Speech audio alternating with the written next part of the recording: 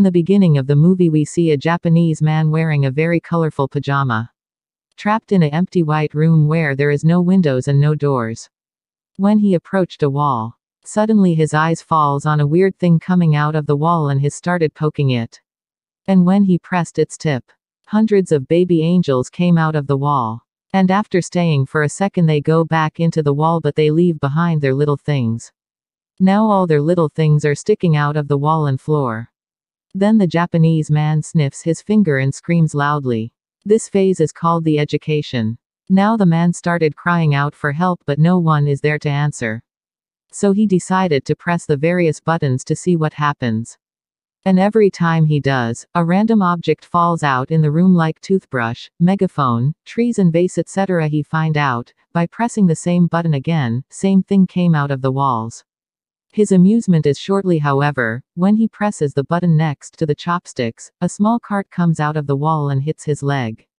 He cried out in pain and after that he presses another button. And the button transforms into a butt and the butt passes gas on his face. After some time we see the room is completely covered with different kind of objects, and the man is resting on a chair wearing a weird mask.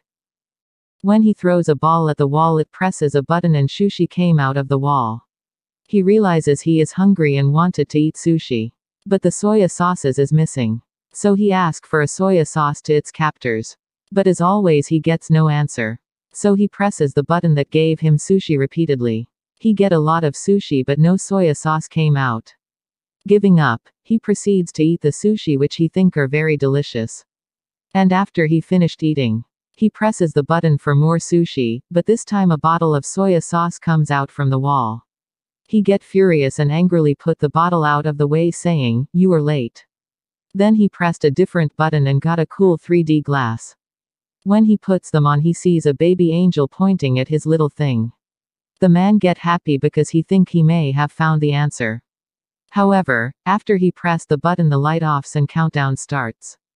After the countdown ends a huge butt come out of the roof wall and farts on the man's face. He screams that it is, smelly. Some hours later, now the man reading volume 5 of a manga that he finds very interesting.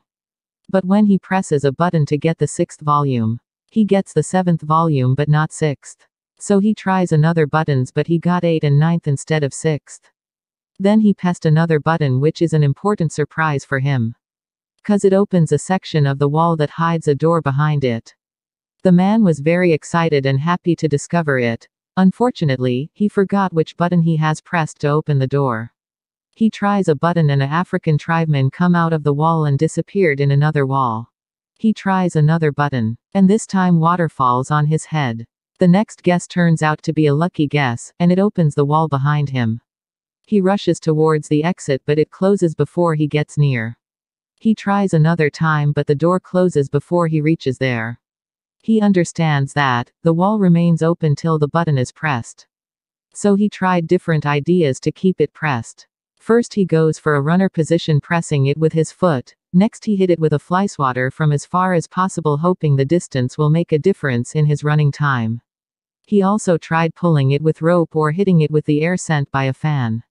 But unfortunately nothing works out. Next he tried to get on the cart and push it after pressing the button. But after a few attempts he understands it won't work out. He needs to find a way to keep the button tip down. So he puts the huge vase on top of the button. But the button stick back up again. So he plans to fill the vase to make it heavier, so he tries to fill it up with water by pressing the button that makes waterfalls. But the water only falls on his head so it didn't work out.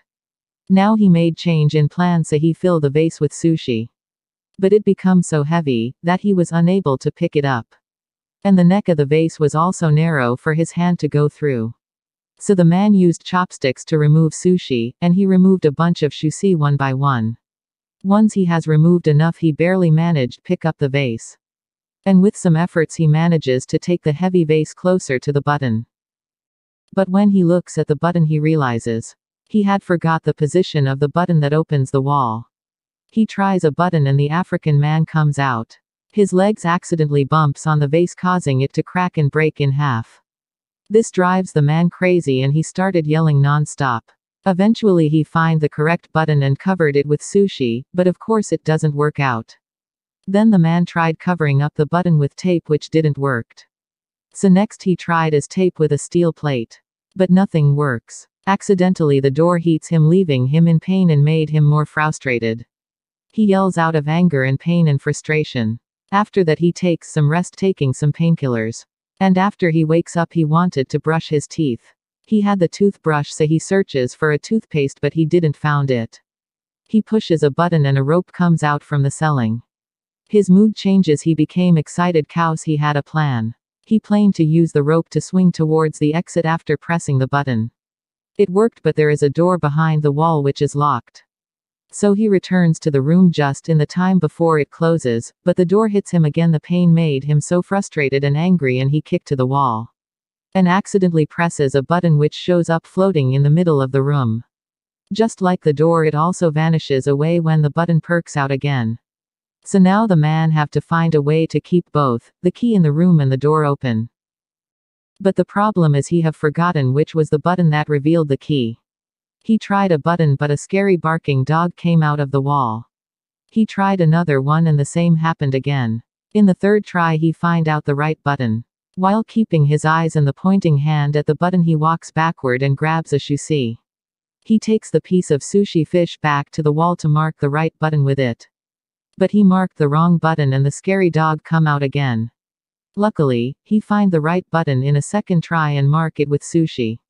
Now he acts according to his plan, to swing on the rope to reach the different button quickly. But he was unable to swinging that fast and falls on the floor. He sees a plunger he had found by pressing one of the buttons. And gets an idea to solve his little problem.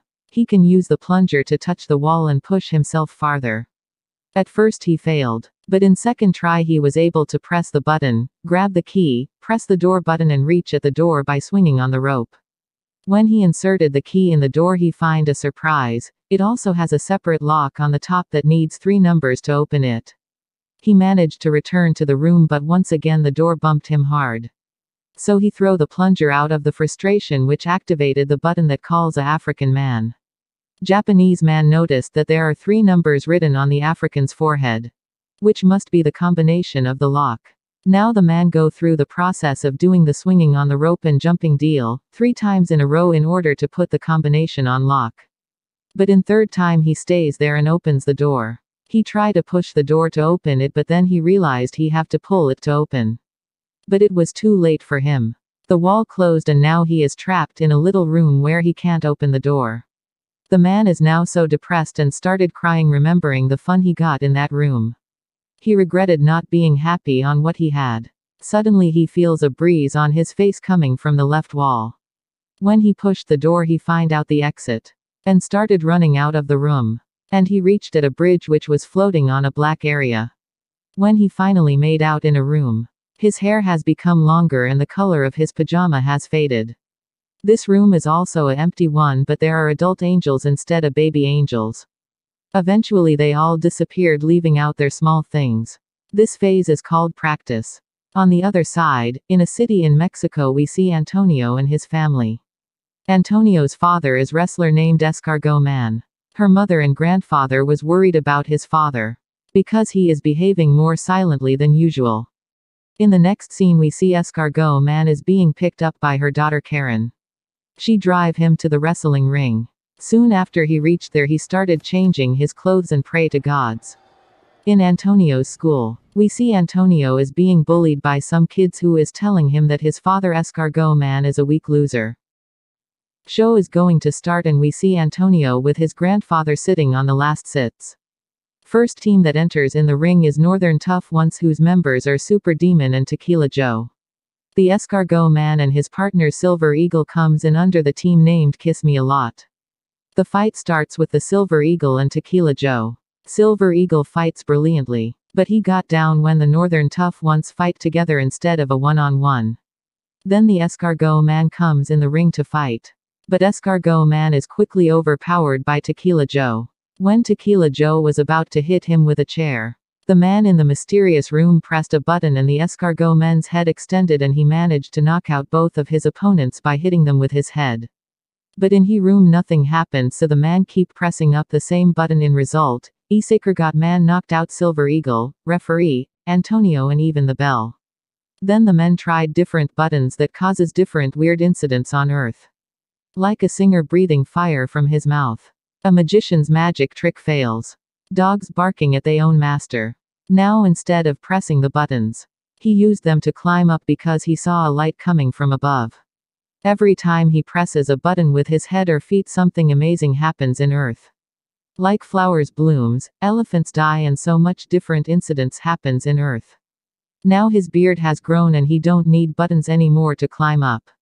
Now he can fly like angels. Next we see he had become a god and began choosing the buttons on purpose instead of pressing randomly to make a rocket fly, create the life, and destroy the life, initiate war, creating disasters and so much more. After some time he is surrounded by feathers. Then he gets into a room through a portal. In that room, continent drawn on wall and there is a huge button. This phase is called future. And the movie ends in a mysterious way. Make sure to subscribe our channel and hit the bell icon to stay notified about our new videos. Thanks for watching.